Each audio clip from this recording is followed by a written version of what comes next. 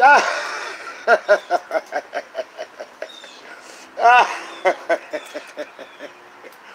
everybody doing? oh dear, I'm not laughing too exuberant because it's a little cold in here. It's a little cold. You know, um, um, we are going to now, um, yeah, low battery, yeah, you know, it's Saturn. Like, the best thing I can do is manage get this done uh, all day and, you know, having the battery saving all day and it wasn't working out. You know, I mean, what can you do? I mean, you, I mean, you, what can you do? Uh, you have to manage it. That's all you can do is manage it. Now I'm trying to find the um, the uh, volume here. Okay, and here we go. Okay. All right. How is everybody doing? uh, it's been very, very, I've been very, very um, busy taking care of situations and taking care of um, many readings, a lot of you. I'm doing a lot of readings and uh, preparing the paid subscription for many of you uh, preparing also um, the classes in astrology. You all know I run a school of astrology, but because of uh, COVID 19, I have not been promoting the school. And, you know, I have a few students I'm running the school that I'm going to start them over again. I'm not going to mention their names because I don't have the permission to mention their names but I'm gonna have them restart the class again, you know, because it, it just disrupted the curriculum time. So, you know, giving you some news, giving you some updates, right? There is also um, the the condition of the supercharged and smart chat. Now, I love you, abracadabra. I don't know who you are if it's a man or woman. Thank you very much for what you wrote about everybody paying eight dollars and getting the paid subscription. Thank you so much. If, if, if I had all of you paying that and being involved in that, it, uh, it would take care of so many things. Oh,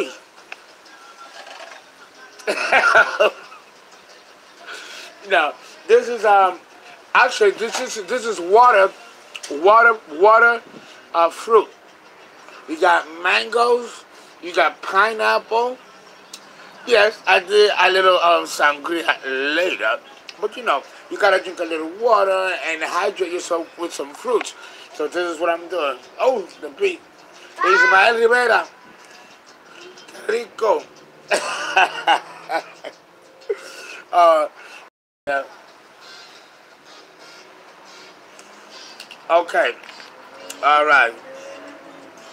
Let's start. Oh, wow. Oh.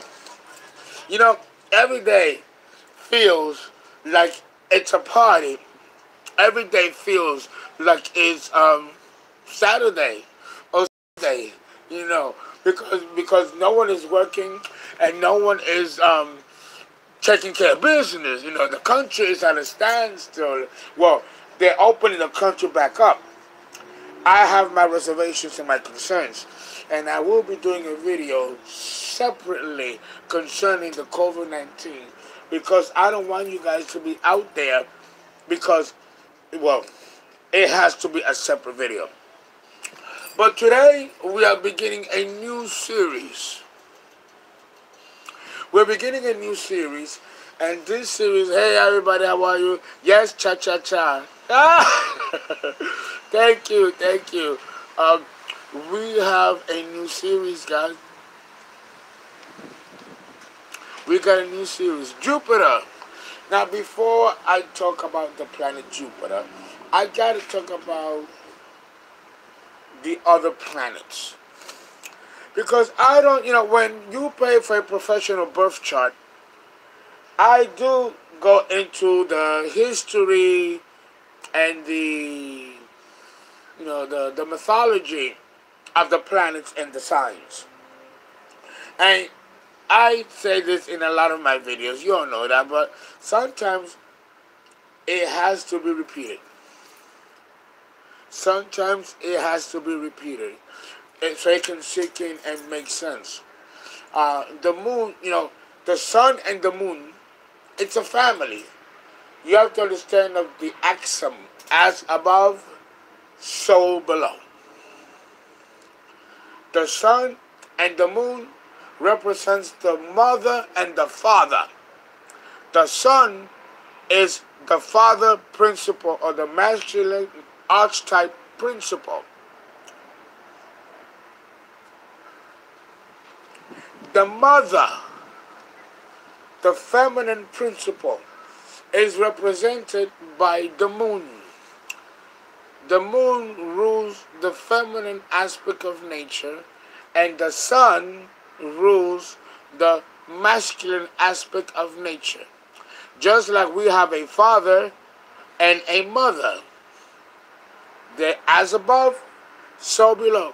Yo soy para ti, hoy para ti, yo no soy para ti. I'm sorry. It caught me. It just grabs me. okay. So understand that there is a paradigm that is repeated on the earth plane that symbolizes and reflects the truth of the heavens. The sun is the father, the moon is the mother, Venus, Mars, Mercury represent the siblings. Just like we have brothers and sisters, so too are their siblings up in the heavens. The sun and the moon are the parents, and the siblings are Mars, Venus, and Mercury, which are the inner planets. Okay? Just like we have brothers and sisters down below from our parents, as above, so below. Yo soy pa yo no soy yo no soy para ti, yo no soy para ti. and I'm not even drinking. it's just, you know, oh, you don't know me. My Jupiter in Leo. so, um, and we're going to get to, of course, Jupiter in Leo. And I'll try not to go overboard since, you know, it's the height of a little, little bit of narcissism. just, just a scotch. okay? Um, then you have Jupiter and Saturn. Saturn is the father. He's the father. And he has several children. But the one that is the king of the king of the king of the gods. Yo no soy para ti. Uranus, the planet Uranus, is the great grandfather. He is the father of Saturn. And Saturn has four children Jupiter, Neptune, Pluto, the brothers, Venus, and Mercury are the uh, siblings. And when uh, what had happened was, let me tell you, what had happened was that Saturn, and this is something that is still under occult investigation, decided to commit patricide. Patricide meaning that he castrated the genitals of Uranus. And the genitals fell into the ocean. And from the ocean sprung Venus. The castration of the of the god Uranus caused the planet to flip and orbit on its sideways.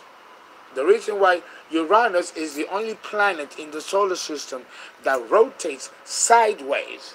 It's not on a platform like all the other planets. It's on a it's standing on the poles. Cosmologists don't understand why this is the case with the planet Uranus. But if we talk to occultists, a lot more went on than what is being said in science. And mythology, of course, waters beautiful allegories of what really happened. I mean, come on, no planet has genitals that you cut and then it spins out. This is it's an acronym. They're allegories. Something else occurred a destruction of the inner core of the base of the planet's engine, which is unknown in cosmology concerning Uranus, caused the planet to tilt and rotate on the polar axis. This did not just occur with Uranus, it occurred with another planet that was in between Jupiter and Mars. That planet exploded, imploded, but there were other things going on too. And I, we cannot discuss that here. The only reason why the planet Uranus did not implode or explode is because it's a gas giant. Uranus, Neptune, Jupiter, Saturn, these are gas giants. They're not like concrete solid matter like Mars, Mercury, Venus. Venus has a lot of volcanic activity. Venus was a planet of love and beauty. Venus the planet Venus is a very horrible place. There's explosions and volcanoes and lava and all kinds of stuff going on there. And even then, the life form is living there. So, getting back to the family. So Saturn, for reasons that we cannot discuss here, when, goes out, kills his own father, Uranus, and then goes out to kill the rest of his own children. The one that, and so what happened? He swallowed more than all of them, for the exception of Jupiter, Zeus, because uh, I believe it was Hera, uh, one of the goddesses uh, uh, depicted by the asteroids, put a big rock inside Saturn's mouth. So Saturn could not eat Jupiter. Even then, Jupiter was lucky. Saturn ate all the other children except for Jupiter. Jupiter was taken into a mountain and he was raised. That's why Mount Olympus is the symbol for Jupiter, the mountain. He was taken and rescued from Saturn, who was out on a killing spree, killing all of his children, devouring all of his children. Eventually, he rose against Saturn. He grew up and rose against Saturn. This is the story of Hercules and Perseus and Pegasus and he fought against Saturn and pushed Saturn into the outer remnants of space where he is to this very day. And now uh, Jupiter has become the king of the gods and is the protector of our solar system against our own gods and those of foreign gods of other stars and solar systems. This is the truth. And mythology tells us this truth in a very complex way. Let's take a beat on that. Let that sink in. Will I drink my uh, water? Uh, you know, it's water. It's it's not alcohol. It's 100% water with uh, fruits. A little bit infused though with a little bit of you know spirits though. uh, let us in. What questions do you have? Now Libra and Jupiter, Kronos. That's right, Kronos. You all know the story. If you're not, Google it. Praise Jupiter. Jupiter was a lucky mother. Boop, boop, boop. Even then, he was lucky. Because Saturn devoured all the other um, planets. But then, when the rock was turned by one of the, the goddesses, all of the other planets came out. And then they all revolted against Saturn and pushed that motherfucker into the outer of space, where he rules to this day. Saturn has 64 moons a mysterious planet. Mm.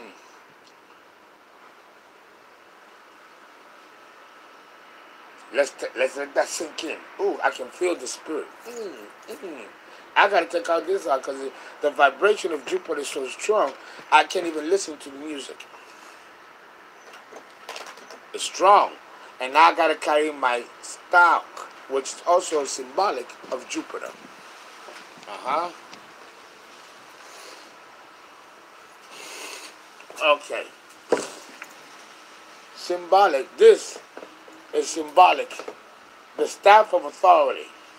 This is symbolic of Jupiter. And it's also symbolic of Leo, the king.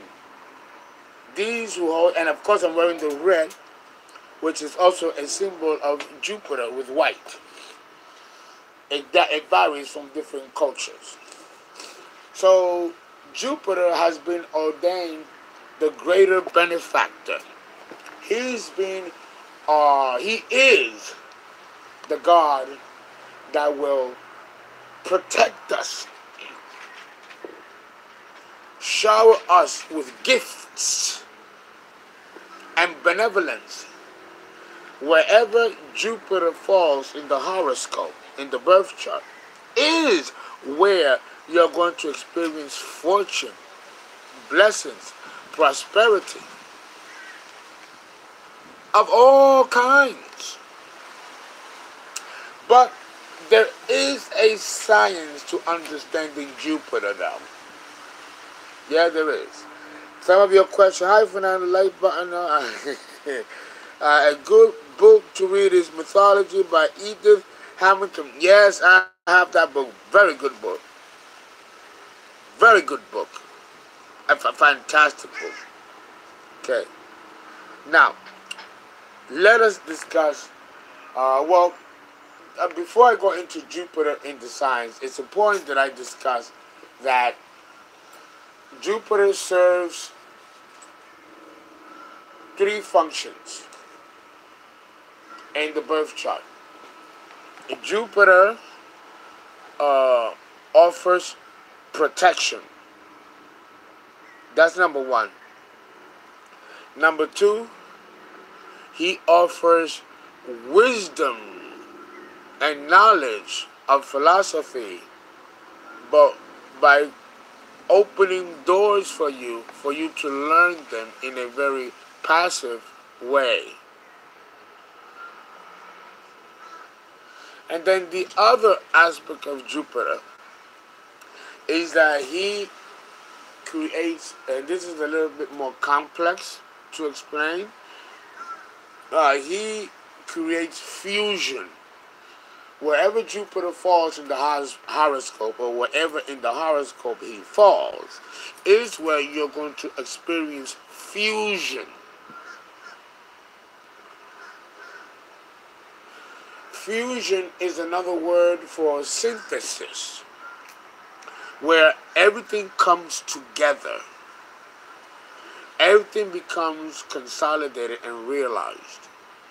And this happens once every 12 years. You have a, uh, love you all back, love you all back. Jupiter has a cycle of 12 years. 12 years. So when you were age 12, you had your first Jupiter cycle. When you were age 24, you were at your second cycle, a Jupiter cycle.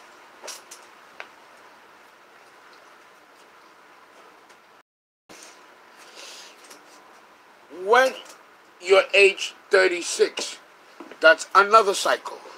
48, 60. So that means that at age 12, at age 24, take notes now, 36, age 48, age 60, and age 72. You are going to experience Jupiter cycles.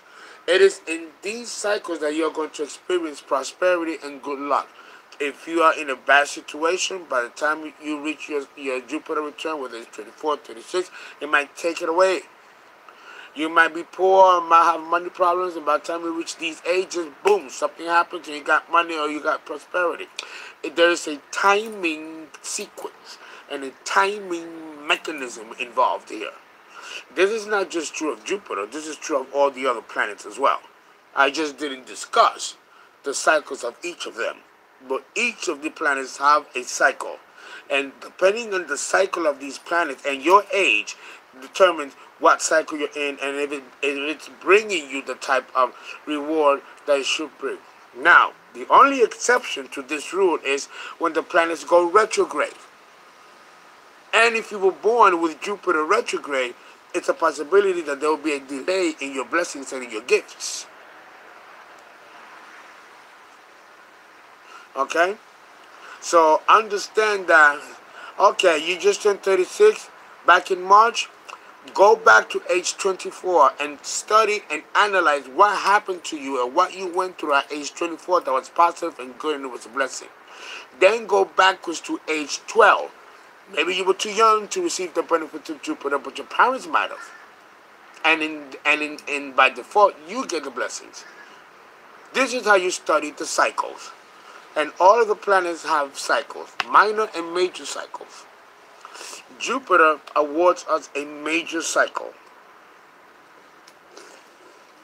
Okay? You getting that? Very good. Guys, donate to um, the People's Astrologer. Not the People's Astrologer, but well, it is, but you know, www.paypal.me slash the People's Astrologer or Maddie Love 7-Eleven. Both of those um, um, links you can use, okay? And uh, because it's paid content. And I love the idea of um, all of you paying paying the eight dollars a month paid content. I am putting that together. Uh, pretty soon you all will be doing all of that, and then I can just focus on the birth chart bookings and also the paid content because it is a lot of work. that's why you see me very frequent, not as frequent, because I'm compiling the, the content, you know. And as and of and don't forget that I also have content on Medium.com. Uh, you need to download the app. Download the app, and you get to read my PhD thesis. You all know I go to Columbia University where I'm ordering my courses in cultural anthropology. I've been doing this for five years. And in these treaties, I write some very powerful stuff that I cannot discuss on the air. So download the app, Medium, and you look look me up, um, anthropological series, and I have all of my dissertations there, and I am also compiling some more, and it should be uh, written in another two or three days. It's a lot of work, which is why your paid donation helps me cover costs, you know, eat, drink, and, and, pay rent and all that kind of stuff. So I appreciate you giving that because that helps me to then be focused on providing the content for you that you're not going to get anywhere else. Uh, yes. Now, having said that, uh, another thing I got to talk about uh, Jupiter is that there is a negative aspect to Jupiter. If Jupiter has squares from the midheaven or squares from the planets that can also devalue or water down the influences of Jupiter. If there are squares and oppositions, or if there are hard aspects to Jupiter, there may be a delay in your blessings and gifts. And if that's the case, then there is a karmic condition going on that may explain why this is happening. So please, uh, uh, and for that, you have to have your chart done professionally to see where you might uh, have a little bit of karma, where you might need to um, maybe pay a little penance before you get your rewards. Okay? So thank you guys. Thank you guys so much. Um, thank you. I know I said I don't need to explain, but you know, I love you guys. I care about you guys. I want you guys to also protect yourself. The government is going to open up the country. Do not go to the beaches. Do not go out and, and act like this is normal because there are more people dying. Uh, the powers that be are not yet finished in doing their genocidal work.